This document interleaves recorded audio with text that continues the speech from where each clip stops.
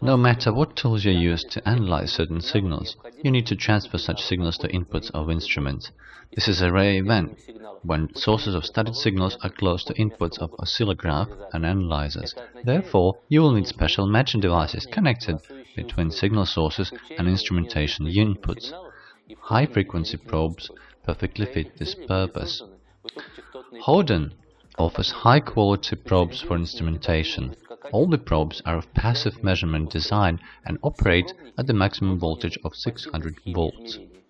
Except for HP 9258 model, such probes can sustain the maximum voltage of 1200 volts.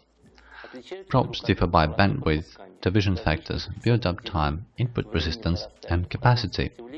For instance, HP2060 probe is designed for the frequency band from 0 to 60 MHz at the maximum input voltage of 600 volts.